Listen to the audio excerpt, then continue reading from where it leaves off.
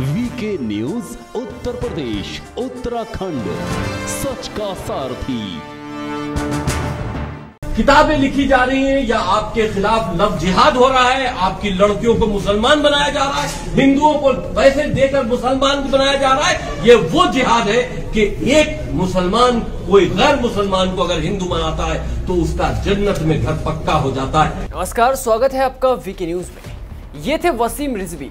अयोध्या वाले, जिन्होंने इस्लाम और जिहाद की पोल खोल कर रख दी है। इन्होंने आज एक ऐसा सवाल उठा दिया है, जिसका जवाब देने में मौलानाओं, उलेमाओं के पसीने छूट जाए। वो कहते हैं ना कि सच बड़ा कड़वा होता है, और जब ये सच किसी अपने के मुँह से निकले तो अक्सर विशेष अंग में जलन मचनी लाजमी है। रिचवी के एक एक शब्द साजिश की तरफ़ इशारा कर रहे हैं। बता रहे हैं कि इस्लाम के नाम पर जिहाद का गंदा खेल पूरे विश्व में चल रहा है। ऐसे कड़वे बोल हैं कि कट्टरपंथियों के लिए इसे हजम करना किसी जहर से कम नहीं। इसलिए फतवे भी जारी हो रहे हैं, धमकियाँ भी मिल रही है और एक तबका ऐसे मुँह फुलाकर बैठ गया है जैसे बेगानी शादी से अब्दुल्ला को लात मार के भगा दिया गया हो।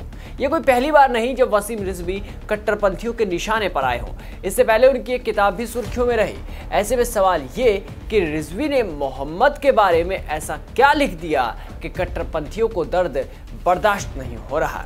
जी हाँ उत्तर प्रदेश शिया वक्फ बोर्ड के पूर्व चेयरमैन वसीम रिजवी फिर से सुर्खियों में हैं। उनकी किताब मोहम्मद पर बवाल मचा हुआ है। मुस्लिम समुदाय रिजवी पर आक्रोशित है। अयोध्या में तो मुसलमानों ने प्रदर्शन किया ही। हैदराबाद में रिजवी के खिलाफ एफआईआर तक दर्ज करवा दी गई।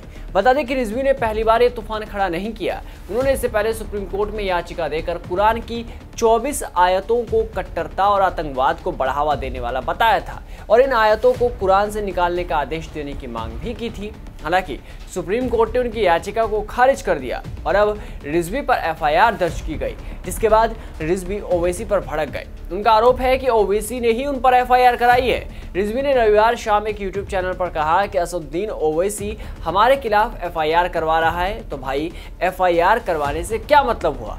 हमने तुम्हारी किताबों के हवाले से किताब लिखा तो उन किताबों के हवाले से जवाब दे दो, अपनी किताबों को जला दो, अपने में इंसानियत पैदा कर लो।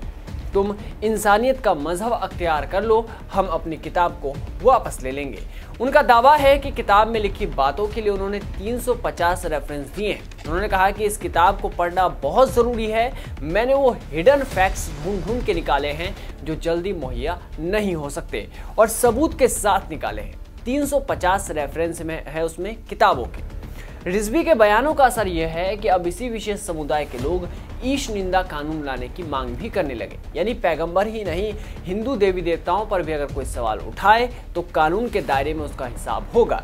All India Muslim personal law board ने ईश निंदा पर कानून बनाने की मांग कर दी है।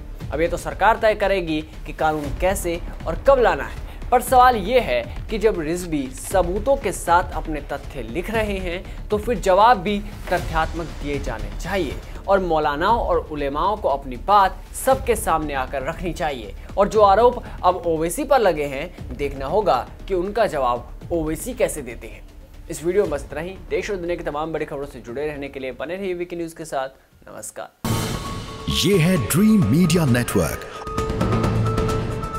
और आप देख रहे हैं देश का पहला 24 four by seven digital news channel VK news राष्ट्र के नाम।